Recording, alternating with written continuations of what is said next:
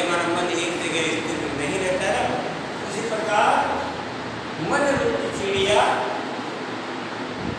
सभी रूपी जंगल में कुछ करने वाले आइए हम इसमें पढ़ते हैं। पहले मैं आपको इसके कुछ शब्दार्थ बता देता हूँ कि दूध भरे शब्दार्थ शब्दार्थ को मुख्य काम आने वाले हैं। उसके बारे में बता देता हूँ।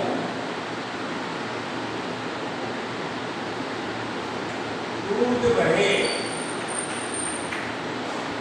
यानी रस से भरे हुए रस से भरे हुए ठीक है ना हिंदी हिंदी का मतलब होता है ज्वार आपने ज्वार खाई बच्चों को भी नहीं खाई ना जैसे गेहूँ के दाने होते हैं या आप अपने घर में सवेरे सवेरे दादाजी, पिताजी को आप देखते होंगे ना, कबूतरों को डालने के लिए जो अनाज है ना, उसको हम वाइट वाइट हल्का सा होता है ना, उसको बोलते हैं जवार। एक प्रकार की अनाज की फ़सल, क्या होती है? एक प्रकार की अनाज की फ़सल होती है उसको हम कहते हैं भिंडी जवार अब मन में ऐसा इसका ऐसा पौधा होता है छोटे छोटे छोटे छोटे जवार के दाने होते हैं ठीक है ना उसको कहते हैं भिंडी उसके बाद में रुचि से रुचि से का मतलब होता है पसंद के कारण रुचि से का मतलब होता है पसंद के कारण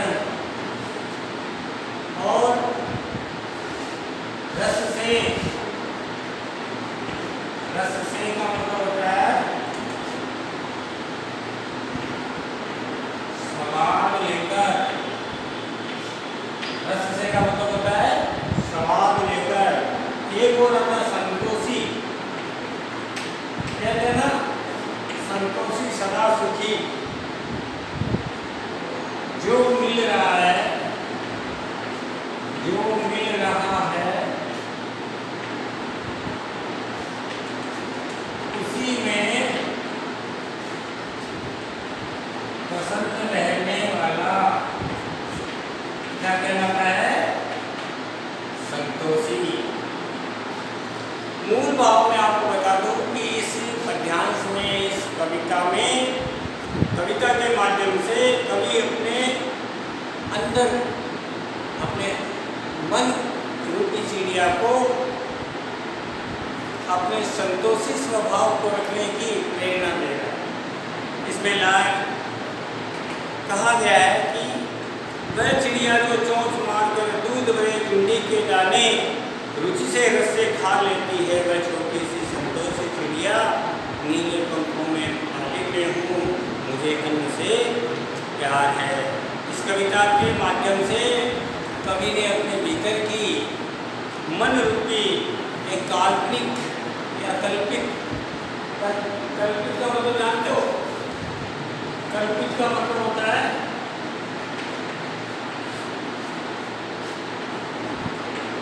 कल्पना के आधार पर कल्पना के आधार पर होता है कल्पित कभी अपने मन के भीतर की कल्पित चिड़िया से कहता है, जो कि नीले पंखों वाली है, जो कि अद्भुती रस भरी भिंडी के दाने, ज्वार के दाने खाती है और उसे खाना पसंद करती है। ये कहती है कि मैं इन जवार के दानों को बड़े चाव के साथ खाती हूँ बड़े आनंद के साथ खाती हूँ और मुझे इनसे स्वाद भी मिलता है। चिड़िया कहती है कि मैं काल की चिड़िया हूँ और नीले पंखे वाले हूँ। मेरे पंख है, वो तो कौन से है? नीले। नीले पंखों वाले हूँ, अपने भोजन से संतुष्ट हूँ। यानी हम देखें कभी कभी स्वादिष्ट भोजन करते हैं। जब तक भोजन नहीं करते तो हमारे मन की चिड़िया गड़बड़ाती रहती है ना। उठती रहती है और कहती है, मैं जल्दी से जल्दी वो चीज़ खाऊँ। और जब हम उसको खा लेते हैं तो हमारे मन रूपी ये चिड़िया है, वो संतुष्ट हो जाती है। फिर आगे है। कठिन शब्दों में आप और भी लिख सकते हैं, कंठ। कंठ का मतलब होता है गला जानते हो गला, ये गला गला। पूरा यानी पुराना रस उदेल कर यानी मधुर स्वर में और मुँह बोली। एक शब्द आता है मुँह बोली बोली। का मतलब जानते हो आप क्या होता है। मुँह का अर्थ होता है, जिसको हम मन से मान मान ली गई।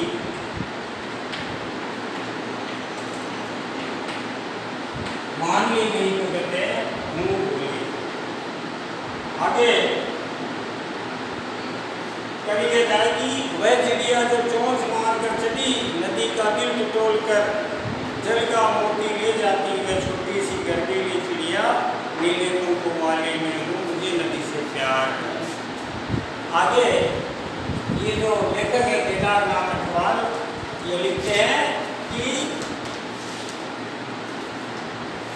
कवि के अंदर की कल्पित चिड़िया धर्म से कहती है कि मैं उस उफनती नदी का पानी पीना चाहती हूँ, बल्कि पूरे साहस के साथ नदी के हृदय की बात को जान करके और सीधे नदी से अपने कवि कहना चाहता है कि मैं उस उफनती नदी का जल पीना चाहती हूँ और नदी के हृदय की, मन की बात को जान करके और उसमें चौंच डाल करके उसमें से मोती, बूंद की मोती निकालना चाहते हैं। बूंद आपने कभी किसी पेड़ के ऊपर देखा होगा कि एक पानी की बूंद है, वो एक मोती के समान होती है और कल्पना रूप की चिड़िया उस मोती को चुप चुगना चाहती है।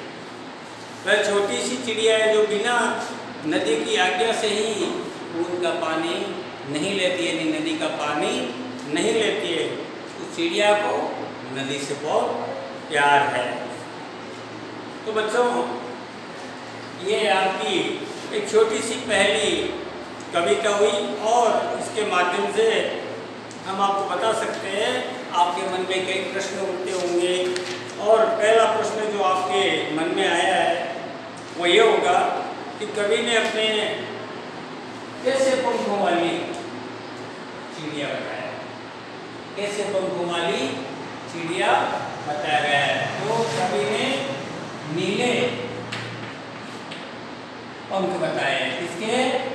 चिड़िया के पंख नीले होते हैं। उसके साथ साथ आपके मन में आया होगा कि ये कल्पित चिड़िया क्या खाती है? तो कल्पित चिड़िया है, वो जूनी के दाने, यानी ज्वार के दाने खाती है और खुश रहती है।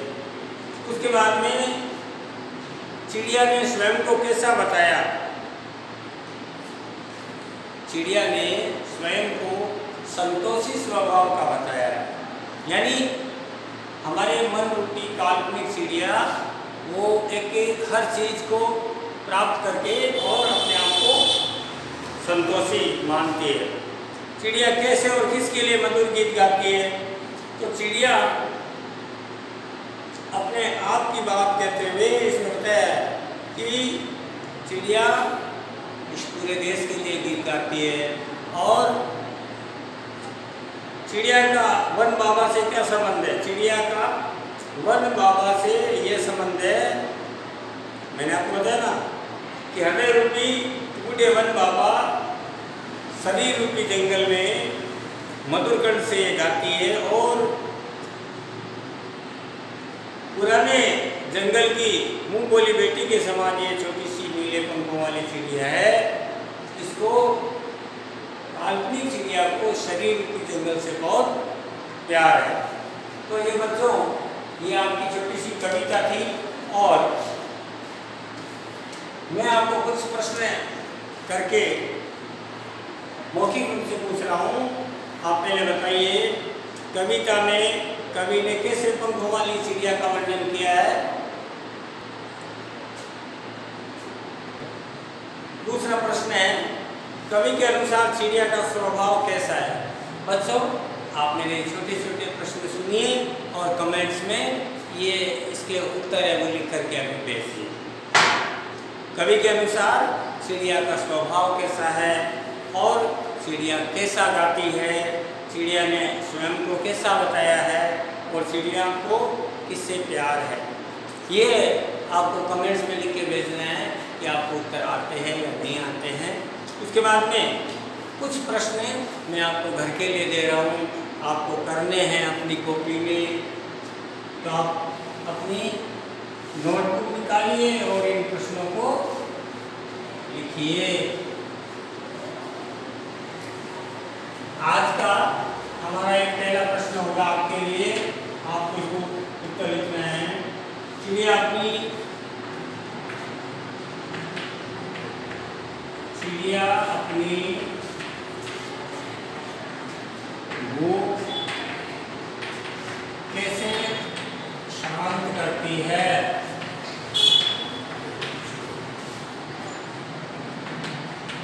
मैं सबके उत्तर आपको बताऊँगा लेकिन पहले मैं प्रश्न लिखूँगा, आप भी प्रश्न लिख लीजिए। दूसरा प्रश्न है, कवि ने चिड़िया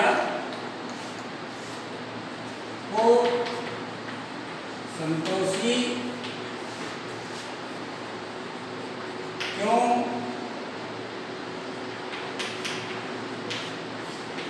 बताया है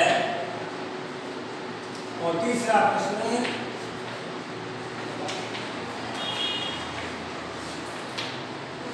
चिड़िया किसे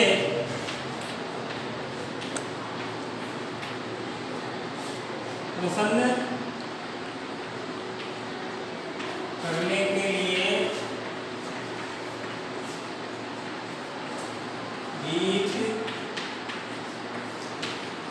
गाती है तो बच्चों ये तीन प्रश्न आपको अपनी कॉपी में एस डब्ल्यू के रूप में करने हैं अब मैं आपको इनके उत्तर बता रहा हूँ चिड़िया अपनी भूख कैसे शांत करती है तो आपको लिखना है चिड़िया अपनी भूख ज्वार के दाने खा करके शांत करती है।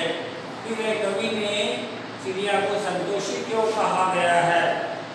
कवि ने नीले पंखों वाली छोटी सी चिड़िया को संतोषी इसलिए कहा गया है क्योंकि उनको इस शरीर रूपी जंगल से बहुत प्यार है। क्योंकि शरीर रहेगा तो हमारा मन हमेशा तृप्त रहेगा।